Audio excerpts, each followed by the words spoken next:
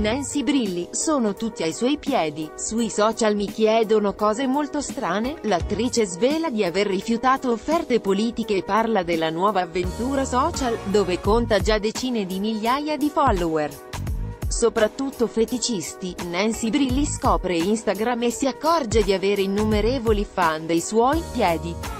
Lo svela l'attrice al sito It, in cui racconta la sua nuova avventura social fatta soprattutto di apprezzamenti feticisti sui suoi piedi. Il piacere a proposito del suo sbarco sulla piattaforma social, l'attrice spiega che si tratta del piacere della condivisione di un diario e di una personalità senza filtri.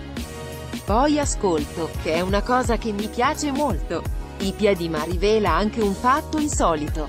I tanti follower, che sfiorano oggi i 70.000, hanno infatti per lei particolari richieste perché c'è chi la ritiene elegante, e chi le dice che tengo compagnia, che faccio vedere cose e posti non accessibili a tutti e che gli piaccio. Ma parecchi sono fissati con i miei piccoli pieduzzi, e la cosa mi fa molto ridere. Addirittura c'è chi le chiede di mostrarli in tutte le angolazioni.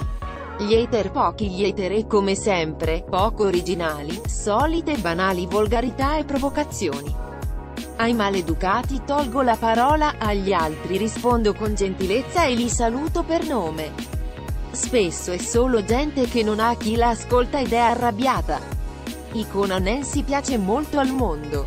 Lei pensa di avere una spiegazione, grandi outfit, grandi capelli, grandi trucchi e grandi pene d'amore.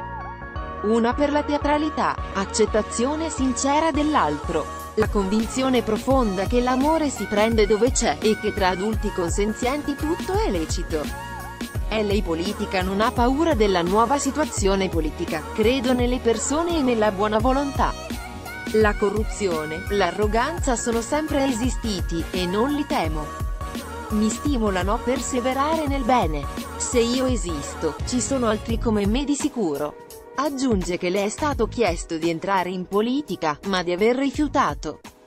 Il caso Brizzi Nancy non è stata risparmiata dal vento delle polemiche per aver difeso il regista Fausto Brizzi dalla gogna mediatica, con parole garantiste. Ho semplicemente raccontato quella che era la mia personale esperienza.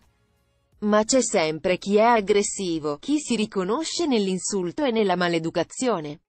Ognuno offre quel che ha. Edoardo Montolli